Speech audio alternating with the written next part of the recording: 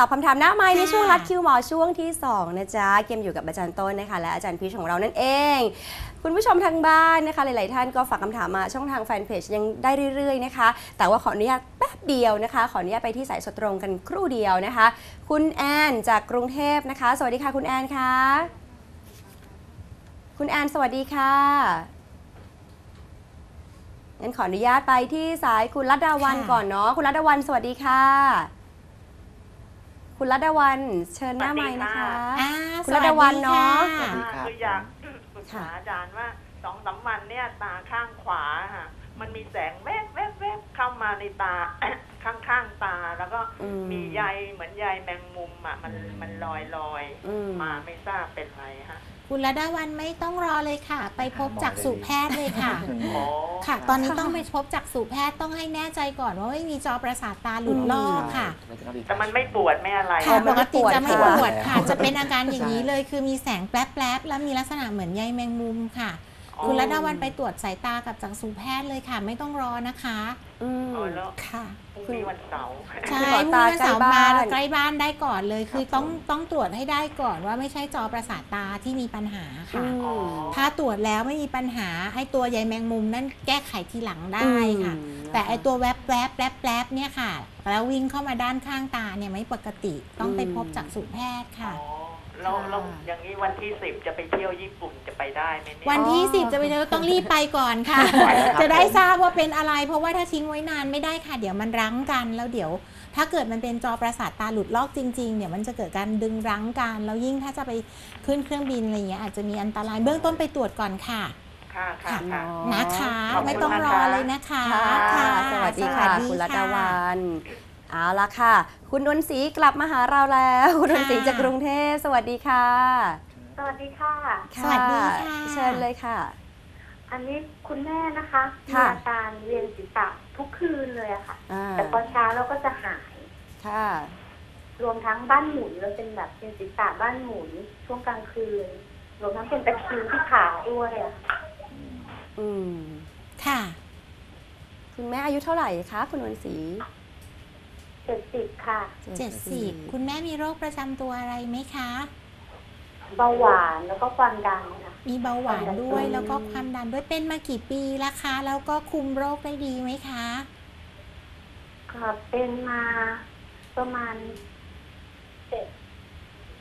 ห้าปีแล้วค่ะ ห้าเป็นปี มาประมาณห้าปีคุมได้ดีนะคะ ทั้งเบาหวานและความดัน อ๋อค่ะ แล้วอาการเวียนศีรษะบ้านหมุนตะคริวที่ขานี่เป็นกี่วันแล้วคะ เป็นมานานแค่ไหนแล้วคะ ประมาณเดือนหรือสองเดือนนะคะประมาณเดือนหรือ2เดือน แล้วก็จะเป็นเฉพาะช่วงก่อนนอน เวลานอนทุกกลางคืนคืน กลางคืนนะะกลางคืนช่วระหว่างเท่านั้นคืนที่นอนนะคะค่ะเอ่อคุณแม่ไม่มียาอะไรที่จะต้องรับประทานก่อนนอนใช่ไหมคะเออเดี๋ยวสักครู่คุณแม่มียาของความดันเบาหวาน ก่อนนอนไม่มีอะค่ะ มีเฉพาะตอนเช้าค่ะอ๋อมีเฉพาะตอนเช้าค่ะค่ะเอ่ออาการเวียนศีรษะบ้านหมุนนี่เป็นนานแค่ไหนคะอืมเดี๋ยวนะเขาคืออะไรคะไม่มีคุณลูกเป็น translator ใช่ให้ค่ะคุณแม่คุณแม่เขิน phone inชั่วโมงนึงอะค่ะ เป็นประมาณโอ้ชั่วโมงหนึ่งแล้วหายเอง ใช่ค่ะพอเช้าเราก็จะหาย พอเช้าขึ้นมาแล้วก็จะหายอ๋อคือเบื้องต้นเนี่ยค่ะ อาจจะต้องดูว่าต้องหาสาเหตุให้ได้ว่าเวียนศีรษะบ้านหมุนเนี่ยค่ะ เป็นจากอะไรนะคะค่ะในคนที่มีอายุเยอะเนี่ยอาจจะเกี่ยวข้องกับระบบการทำงาน ของอวัยวะรับการทรงตัวที่ทำงานได้ไม่ดีทำให้ค่ะเรามีลักษณะบ้านหมุนในท่าบางท่าได้นะคะอ่าค่ะแล้วก็อีกอันหนึงก็คือเป็นไปได้ไหมว่าเป็นจากโรคประจำตัวนะคะ เช่นมี ความดันเปลี่ยนแปลงในท่าต่างๆ ที่เราใช้ชีวิตประจำวันด้วยหรือเปล่ามันเบื้องต้นเนี่ยอาจารย์คิดว่าคงจะต้องตรวจร่างกาย เพื่อช่วยแยกว่าปัญหา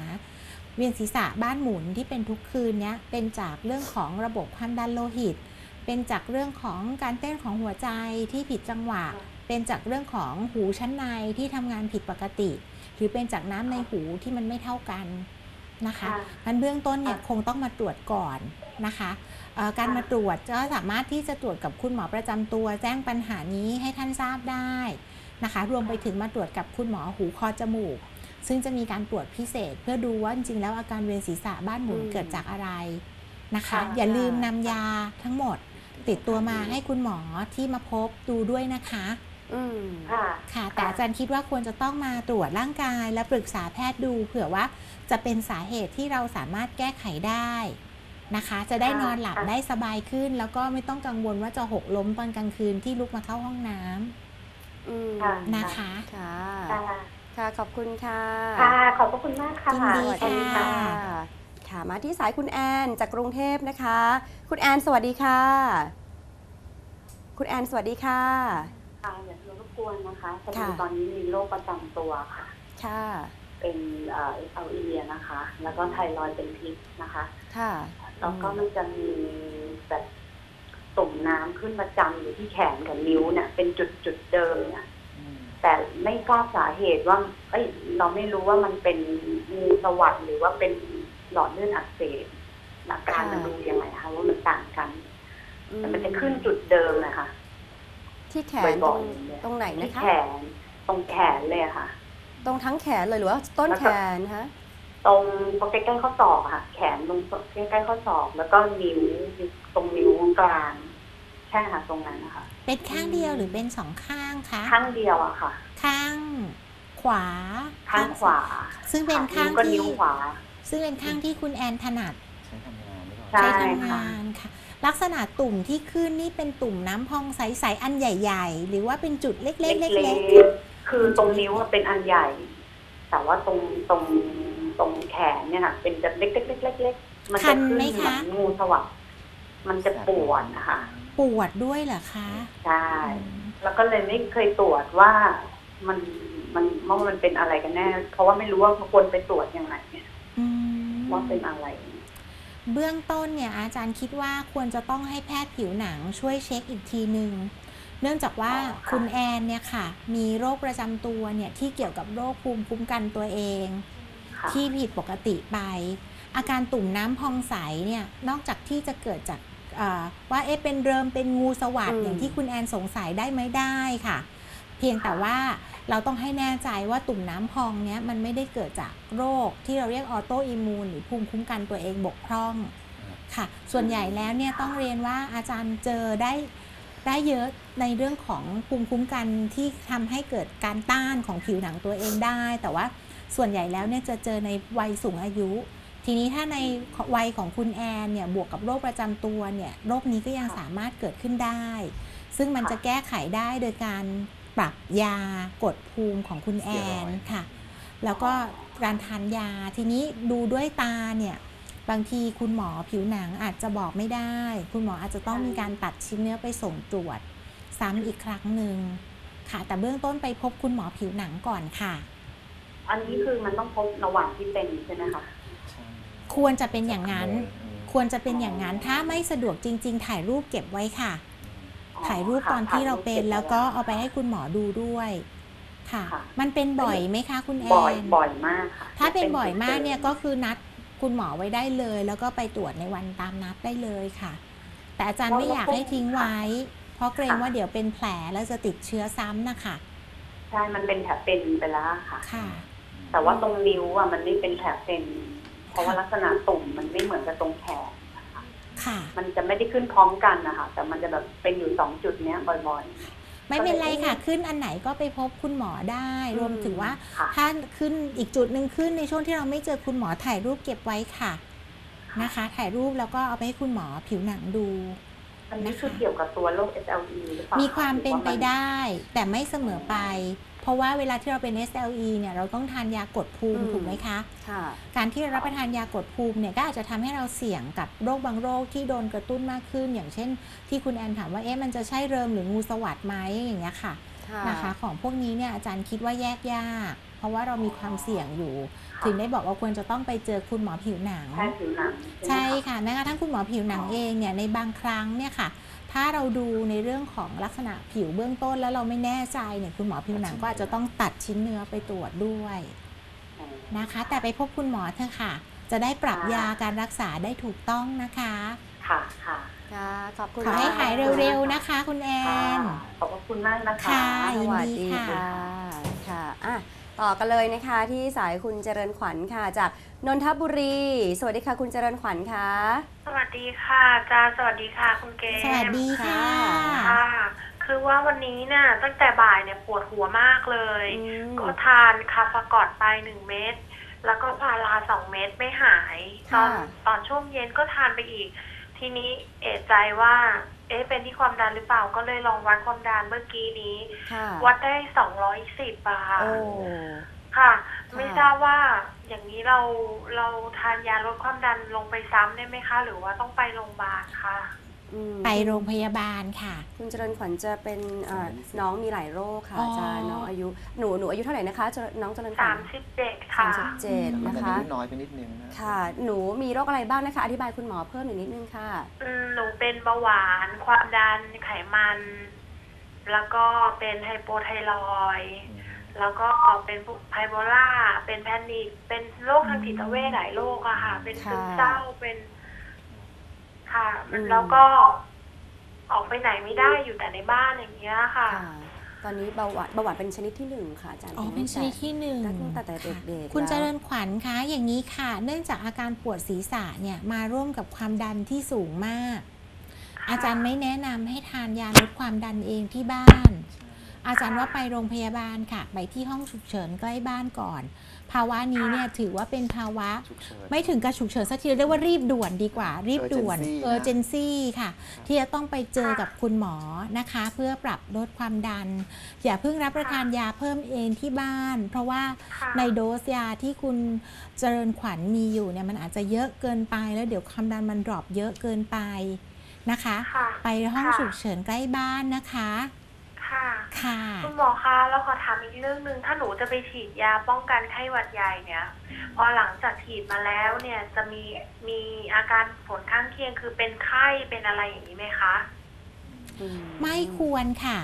ในเอ่อเพราะว่าจริง ๆ แล้ววัคซีนป้องกันไข้หวัดใหญ่เป็นวัคซีนเชื้อตายนะคะอืมค่ะ เพราะฉะนั้นเนี่ยปฏิกิริยาที่จะเกิดขึ้นเนี่ยก็อาจจะมีลักษณะเจ็บบริเวณที่ฉีดได้นิดหน่อยนะคะค่ะค่ะค่ะแล้วก็แต่ว่าจริง ๆ แล้วไม่ควรจะมีไข้สูง ในผู้ป่วยบางรายอาจจะมีไข้ต่ำๆ37.6.7 อะไรอย่างนี้ได้ก็ทานยาลดค่ะไข้เอานะก็ทานยาลดไข้ยาแก้ปวดได้ แต่ว่าเบื้องต้นเนี่ย อันเนี้ยจะยังไม่ฉีดจนกว่าคุณจอมขวัญจะคุมความดันได้ดีก่อนนะคะ ค่ะ ค่ะค่ะคุณจอมขวัญค่ะคุณเจริญขวัญไปไปหาคุณหมอก่อนนะคะเรื่องความดันเนาะ ค่ะ ได้ค่ะเดี๋ยวหนูไปเลยค่ะ ค่ะ ขอบพระคุณมากค่ะค่ะ สวัสดีสค่ะวัสสวัสดีดีค่ะค่ะนะนะ ต้องนะต้องให้กำลังใจน้องใช่เจต้ริองญบขอวัญกว่า เยอะหลายโรคใช่ๆสู้มากเลยนะคะ ก็เป็นกำลังใจให้โทมัสทุกวันเลยค่ะนะคะ น่ารักมากๆอะมาที่คำถามจากแฟนเพจของเรากันแล้วค่ะได้เวลาแล้วค่ะคุณผู้ชมค่ะ คุณผู้ชมถามเข้ามานะคะ โอ้บอกว่าดูรายการของเราทุกวันเลยครับ ขอบคุณค่ะ ปลื้ม อ่าอายุ 58 ขวบค่ะ ค่ะเป็นความดันสูง เป็นความดันสูงค่ะกลางคืน นอนแค่ 4 ชั่วโมงนะคะ ค่ะหลังจากที่ทานข้าว ทานข้าวเช้า กินยาความดัน ง่วงนอนมาก ต้องนอนวันละ 2 ชั่วโมงทันที แบบนี้ผิดปกติหรือเปล่าครับ อืมเอ๋คำถามแรกก็คือมีสองคำถามนะคะคำถามแรกก็คือ ตอนกลางคืนเนี่ยก็จะนอนแค่4ชั่วโมงมีโรคประจำตัวก็คือเป็นความดัน แต่ว่าพอหลังทานอาหารเช้า แล้วทานยาลดความดันปุ๊บเนี่ยมันจะง่วงทันทีเลยนะคะ ต้องนอน 2 ชั่วโมงถึงจะ หายง่วง คือจริงๆ มันไม่มียาลดความดันตัวไหนที่ทำให้ง่วงนอนเนาะใช่ครับผมอืมหรือเป็นความเคยชินที่ตื่นมาต้องนอนอีกนิดนึงอย่างนี้เปล่าคะอาจารน่าย์สนใจใช่เพราะว่าบางทีผมว่าต้องกลับมานั่งดูว่าที่หลับไม่ดีเนี่ยสชั่วโมงเนี่ยอืมบางทีหลับแล้วมีคุณภาพหรือเปล่า บางคนแล้วหลับแล้วขาดออกซิเจนหยุดหายใจเคยได้ยินไหมฮะโรคนอนกลนแล้วหยุดหายใจอืมบางทีถามคนข้างข้างตัว ก็หลับไปแล้วก็จำไม่ได้ อาการค่ะง่วงกลางวันเนี่ยต้องกลับมาดูเพราะว่า ถ้านอนไม่พอบางทีมันอาจจะเป็นเขาเรียกว่า sleep deprivation คือนอนไม่ไม่นอนไม่เพียงะพอใช่ นอนไม่มีคุณภาพ อาจารย์ขาถ้าเกิดว่าเอ่อคุณผู้ชมท่านนี้เนี่ยให้ข้อมูลมาเพิ่มเติมนะคะ ค่ะ ว่าเส้นโลหิตฝอยสมองแตกที่ท้ายทอยไม่ได้ผ่าตัด ปัจจุบันมีอาการมึนงงทุกครั้งที่อากาศเปลี่ยนนะคะ หมอที่โรงพยาบาลอืม บอกต้องทานยาตลอดชีวิต แต่ก็เบื่อที่จะทานยา เพราะว่าทำงานหนักไม่ได้เลยเอ่อจะเป็นลมในทันทีถ้าหากว่าทำงานหนักอืมเขาก็เลยถามมาด้วยว่าทำไมเส้นโลหิต ฝอยสมองแตกที่ท้ายทอยไม่ผ่าตัดเออแต่ว่าอาการง่วงๆเงาเงาๆหาวนอน หลังจากที่ตื่นนอนมาแล้ว เกี่ยวกับเส้นเลือดฝอยสมองท้ายทอยไหมคะอาจารย์ไม่ควรไม่นะควรคะจะเพราะว่าเกี่จยวกันริงๆ เนี่ยถ้าอืมเผื่อว่าแตกนานแล้วเนี่ย ส่วนใหญ่ถ้าไม่ได้มีการเอ่อเลือดออกเพิ่มขึ้นนะคะ ส่วนใหญ่แล้วเนี่ยก็ควรจะต้อง ไม่มีอาการแล้น่าจะสวงบใช่ได้ครับทีนี้ถามว่าทำไมคุณหมอไม่ได้ผ่าตัดให้ตอนนั้นเนี่ยก็คือมันขึ้นกับตำแหน่งขึ้นกับขนาดของเลือดที่ออกด้วยนะคะ ถ้าเผื่อว่ามันออกนิดหน่อยเป็นจุดเล็กๆเนี่ยส่วนใหญ่ร่างกายก็จะสามารถกำจัดออกไปได้ค่ะ หรือถ้ามันอยู่ในตำแหน่งที่มันหายยากใช่ที่มันผ่ายากอยู่ลึกมากเนี่ยคุณหมอก็จะไม่เสี่ยงเข้าไปผ่านะคะเพราะอาจจะเกิดอันตรายมากกว่าอืมทีนี้กลับมาในเรื่องของการนอนอืมค่ะง่วงจริง ๆ อย่างที่ค่ะอาจารย์ธีรศักดิ์บอกนะคะ ก็คืออยากให้ลองประเมินการนอนของตัวเองดูว่าจริงๆแล้วมีคุณภาพหรือเปล่าคือ 4 ชั่วโมงที่หลับเนี่ยเอ่อ ต้องเรียนว่าในแต่ละคนมีความต้องการการนอนไม่เท่ากัน แต่ 4 ชั่วโมงนี้ก็น้อยเหมือนกันเนอะพี่น้ต้อยนปกติก็ประมาณ 5-6 ชั่วโมงใช่ในขนาดอายุขนาดนี้มคือปัญหาคือบางทีผมว่าส่วนหนึ่งคือ เรามองว่าเวลาที่เรานอนเป็นความสำคัญอืแต่ผมว่าสำคัญสุดคือนอนแบบมีคุณภาพหรือเปล่าอืมใช่เพราะบางคนนอนแล้วมีการกรนอืมแต่กรนก็ยังไม่น่ากลัวเท่ากับการหยุดหายใจอืมพอร่างกายขาดออกซิเจน มันจะกระตุ้นให้ระบบประสาทอัตโนมัติเนี่ยมันทำงานตลอดเวลาตอนที่เราหลับค่ะท้ายสุดความดันตอนที่เราพักตอนที่เรานอนมันควรจะลง เหมือนเราอืมคูลดาวน์ร่างกายใช่ไหมอาจันพีทอืมปรากฏว่าเราเหมือนเราทำงานตลอด 24 ชั่วโมง ปรากฏว่ากลายเป็นความดันตอนกลางคืนมันไม่ลงที่เขาเป็นเรื่องของมันสูงใช่อืมสาเหตุส่วนหนึ่งของการรักษาความดันแล้วไม่ดีขึ้น ต้องกลับมาดูว่ามีโรคนอนกลนหรือหยุดหายใจหรือเปล่าอืมใช่ไหมฮะอืมแล้วมาง่วงกลางวันอีก ปัญหาคือคนปกติหลับทั้งแต่ตอนเช้าหลังจากนอนตื่นเสร็จใหม่ๆน่าสนใจมากว่าต้องถามว่า คนไข้ตื่นขึ้นมารู้สึกสดชื่นไหม อืม ถ้านอนไป 8 ชั่วโมง 10 ชั่วโมง ตื่นมายังมึนหัวตึ๊บเลย อืมรู้สึกไม่สดชื่น แปลว่าจริงๆแล้วอาจจะมีปัญหาเรื่องถึง คุณภาพการนอนหลัถึบ งแม้จะนอนเยอะหลายชั่วโมง แต่ก็ไม่มีคุณภาพการนอนไม่มีคุณภาพใช่อะจริงๆคืออาจารย์พีทเห็นด้วยกับพี่ต้นเลยนะ เพราะว่าจริง ๆ คีย์ของประวัติที่ให้เรามาเนี่ยคือหลังอาหารเช้าปุ๊บคือง่วงแบบลืมตาไม่ขึ้นเลยคือต้องนอนต้องนอนคือเขาใช้คำว่าอืมต้องนอนเนี่ยคือครับทำให้เรารู้สึกว่ามันมันเริ่มเริ่มมีปัญผิดปหากติใช่ใช่เบื้องต้นเนี่ยจะลองปรึกษากับคุณหมอที่ดูแลอยู่นะคะค่ะรวมถึงไปตรวจการนอนเนาะพี่ใช่ต้นไปตรวจสค่ะลีปเอค่ะอสลิปแลบนะคะตรวจการนอนเนาะถ้ามีเวลา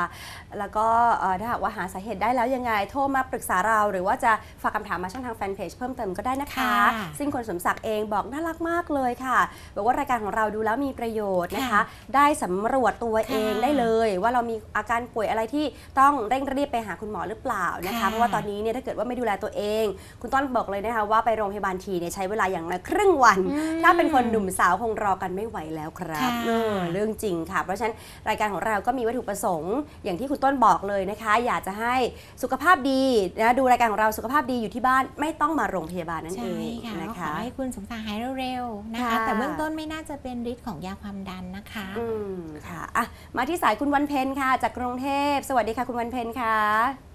ค่ะค่ะสวัเชิสญดีค่ะค่ะครับค่ะ คือป้าจะถามว่า ป้าเป็นไตนะคะ ค่ะ เป็นไตแล้วทีนี้ป้าไปหาหมอมาสอง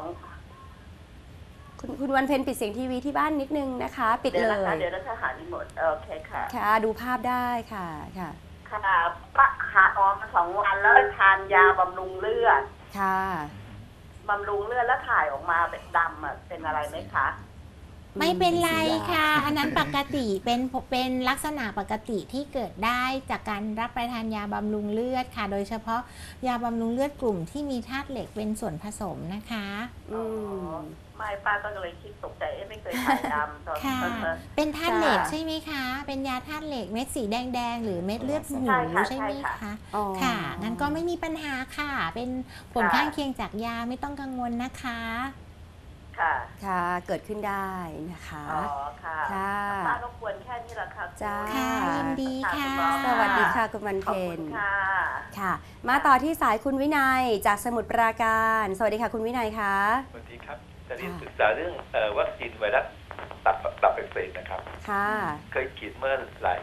สิบกว่าปีที่แล้วนะครับค่ะแล้วตอนนี้ไปตรวจร่างกายเนี่ย เอ่อจะมีอะไร hepatitis B surface antibody มันค่ามัน11.7 อันนี้ต้องไปฉีดซ้ำไหมครับเกินสิบนะฮะฉันต้องจริงๆมีภูมิแล้วนะโอ้จริงๆไม่ต้องฉีดแล้วเกินแล้สิบนะก็มีภูมิแล้วฮะจริงๆฉีดครบสามเข็มไหมครับผมครบสามเข็มครับ อ๋อ มีภูมิแล้วเนี่ยฮะถ้าอย่างนั้นค่ะ เป็น antibody ใช่ไหมครับผม ครับอ่าเป็น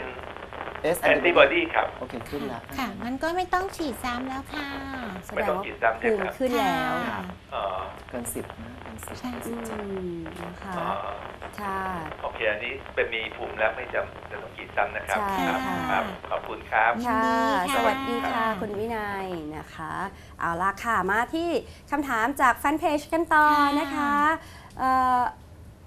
คุณหมอคะมีปัญหาเรื่องของการขับถ่ายนะคะ ถ่ายทุกวันแต่ว่ารู้สึกเหมือนมันถ่ายไม่หมดนะคะอืมท้องป่องๆรู้สึกแน่น ๆ ที่ท้องด้านขวา อะให้น้ำหนักมาด้วยน่ารักจัง น้ำหนัก 47 ค่ะ สูง 159 อายุ 37 ปี หุ่นดีเลยนะคะ ควรจะทำอย่างไรดีคะ ขอคำแนะนำด้วยค่ะอืมค่ะ ถ่ายทุกวันแต่รู้สึกมันเหมือนถ่ายไม่หมด ท้องป่องๆ แน่นท้องด้านขวาด้วย เออ ยังไงดีคะอาจารย์คะ ก็อาจจะต้องดูว่าลักษณะถ่ายเนี่ยค่ะ ที่บอกว่าถ่ายทุกวันเนี่ยมันมีการเปลี่ยนแปลงหรือเปล่านะคะ เช่นทุกทีก็ถ่ายออกมาปกตินะคะ แต่ตอนนี้เริ่มมีท้องผูกสลับท้องเสีย ลักษณะที่ถ่ายเนี่ยมีเลือดปนออกมาหรือเปล่านะคะ มีมูกมีเลือดปนไหม มีประวัติน้ำหนักตัวลดไหมนะคะ มีประวัติทานข้าวไม่ค่อยได้หรือเปล่านะคะ ของพวกนี้เนี่ย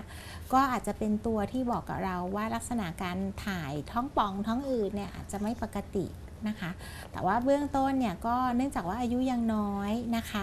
ทางอ่าคุณผู้ชมทางบ้านนะคะคุณดวงกำมลไม่ได้บอกมาว่ามีประวัติเสี่ยงอื่น ๆ ที่เกี่ยวข้องกับโรคมะเร็งลำไส้ในครอบครัวหรือเปล่าใช่ไหมครับผมค่ะ เช่นคนในครอบครัวนะคะ ประวัติ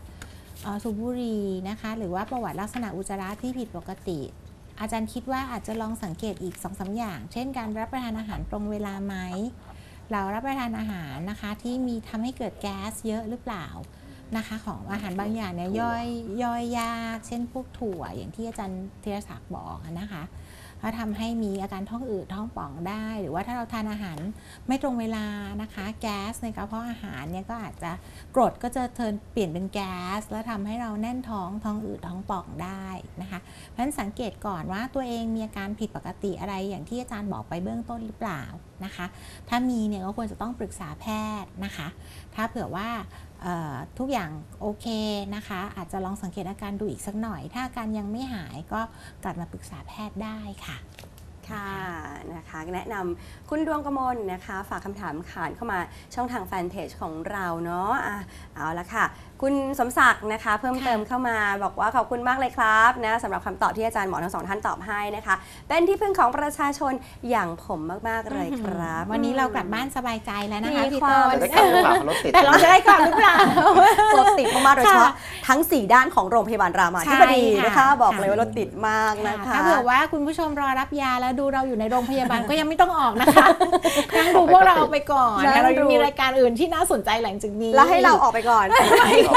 ไม่ออก แล้วก็อาจจะออกไม่ได้เหมือนกันนะคะ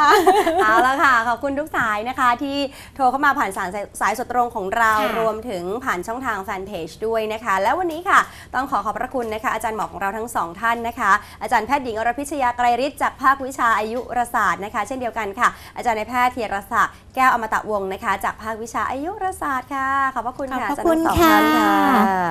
เอาละค่ะ ส่วนวันจันทร์หน้านะคะ คุณผู้ชมถามมาแล้วนะคะว่าเอ๊ะวันจันทร์หน้าเป็นอาจารย์หมอท่านไหนใครมานะคะ ใคใครรมามาใครจะมาตอบคำถามให้นะอะใครที่ที่คิดถึงอาจารย์จอร์ดอาจารย์เฉลิมพงศ์ของเราที่สุดค่ะแฟนคลับอาจารย์เฉลิมพค่ะงศ์ค่ะนะตัดคะตัด สวยสวยงามงามสวยงามทำตาทำจมูกทำหน้าอกนะคะ หรือจะเป็นเรื่องของการผ่าตัดเพื่อรักษาโรคนะคะ โดยเฉพาะคุณพ่อคุณแม่กังวลใจเอะเอ่อปากแหว่งเพดานโหวโอ้เกิดว่าใช่ยังเจอเรื่อยสำคัญนะๆยังเจอเรื่อยๆนะคะใช่อาจารย์ก็เอ่อมาปรึกษาอาจารย์นะอู้วิธีการในการแก้ไขเกมเคยค่ะไปเจอคนไข้ของอาจารย์เฉลิมพงศ์ ค่ะคือเด็กดูไม่ออกเลยนะคะเพราะว่าใช่รักษาตั้งแต่เด็กใช่ๆเลยนะคะ จนดูไม่ออกพูดก็ชัดอะไรก็ชัดหมดเลยนะคะ ดังนั้นคุณผู้ชมโทรมาปรึกษาอาจารย์เฉลิมพงศ์ของเราได้นะคะค่ะในวันจันทร์หน้า